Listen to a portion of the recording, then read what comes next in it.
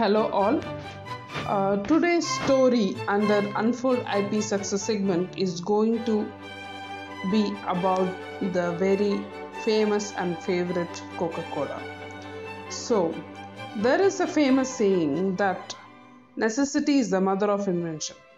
So, this man's necessity led to this invention of the drink enjoyed by all young and old all over the world. So we are looking at the story of one of the most successful brand and the most sought after beverage of the world. It all started during the Battle of Columbus in April 1865. One Mr. John Stith Pemberton, an American pharmacist, was serving the US Army. So he was addicted to morphine, a drug used to ease pain caused by wounds afflicted in the war. Being a pharmacist, he wanted to find a substitute for the problematic drug. He experimented with many painkillers and toxins and finally invented a recipe which eventually was made into the famous carbonated drink Coca Cola. The first recipe or prototype formulated by Mr. John Pemberton was called Dr. Tuggle's compound syrup of globe flower. Isn't it very long and funny? Alright.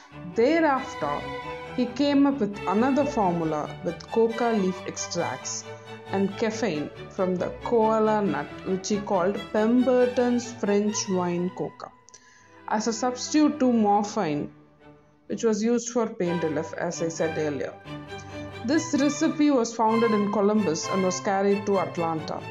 Here, Pemberton took the help of temperance movement, which was a social movement against consumption of alcoholic beverages.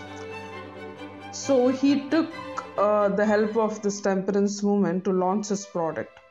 Obviously, Pemberton had to come up with a non-alcoholic alternative to his French wine coca, and therefore cocaine was removed from Coca-Cola's formula.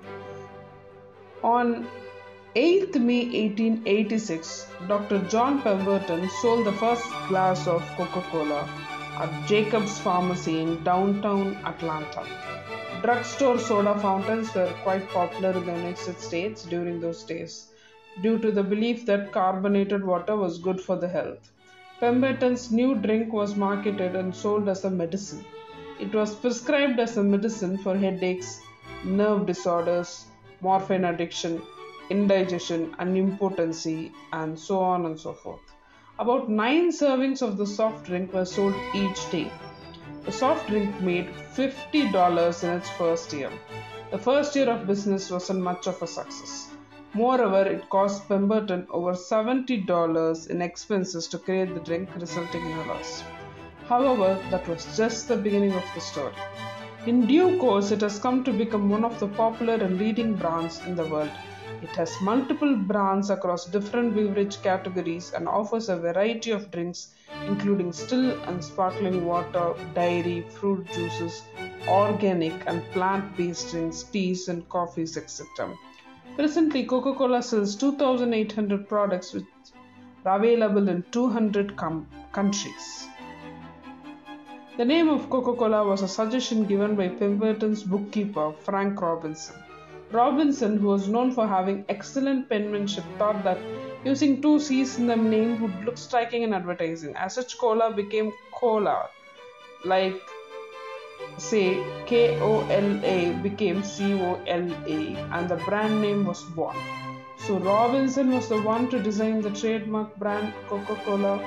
Robinson was known for having excellent penmanship and he thought using two C's in the name would look striking while being advertised. So, as such, KOLA Cola became COLA and the brand name was born. So, Robin, so Robinson was the one to design the uh, trademark Coca Cola, which serves as the famous logo of today. So, the trademark Coca Cola was registered in the year 1893 and its popular bottle design was registered in the year 1960. In 1899, they signed an agreement with the bottling company. They bought the syrup and produced the cola drink. Although the company has changed hands in between, the brand's popularity has not changed, It strongly emphasizes that you have a famous brand, It is a property and can be sold in times of need. Even Pepsi's ownership has changed a few times. So, if you can create such brands, it's worth millions. When it started, it was a small entity, but today it is an empire. Hence, do not underestimate the value of your ideas or your trademarks or your brands. So, have big ideas, big targets, and big dreams. Who knows where you can reach? There is so much that Coca Cola has taught the world of business, and there is so much learning from it. In my future post, we shall see what Coca Cola has in store for us to learn. Thank you for watching. Subscribe and follow my channel for more interesting topics and updates on intellectual property and intellectual